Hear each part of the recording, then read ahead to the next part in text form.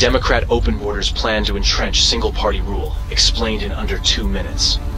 1. Flood the country with untold millions of illegals by land, sea, and air from all over the world, enough to eclipse the populations of 36 individual U.S. states so far.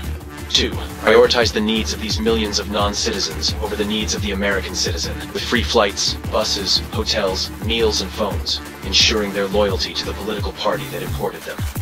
3. Keep them in the country at all costs, even when they commit violent crime like murder and rape.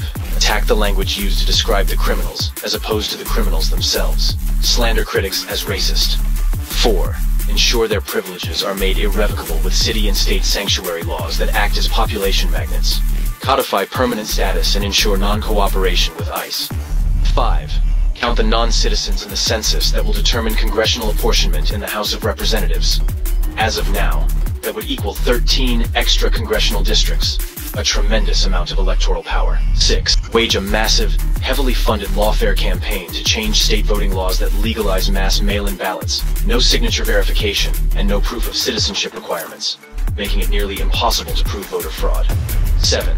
Lock in the permanent voting majority with campaign promises of lavish benefits and permanent privileges, enshrining generational fealty to the Democrat Party.